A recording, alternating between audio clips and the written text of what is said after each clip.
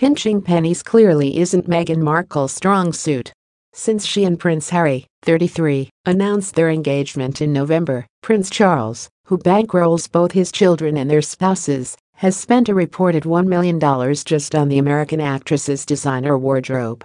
Unlike thrifty Kate Middleton, who often wears Zara and other high street brands, the newly minted Duchess of Sussex, 36, has expensive taste, and it's breaking the bank a source told Life and Style in the magazine's latest issue, on newsstands now.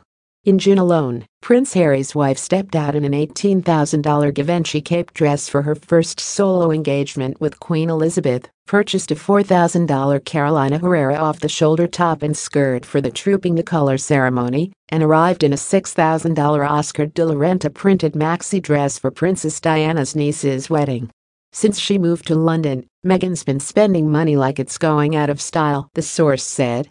Considering Charles, 69, is the one picking up the tab, he's extremely unhappy about the fortune he's having to spend on Meghan's upkeep, snickered the source, who believes the rags to riches royal racked up a $2.5 million tab after joining the firm. He feels like a walking ATM machine and is so annoyed that he's planning to sit her and Harry both down for a stern talking to, the insider added.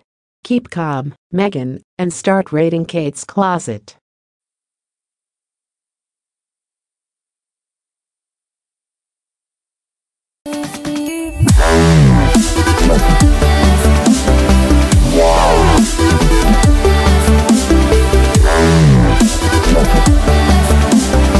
Wow.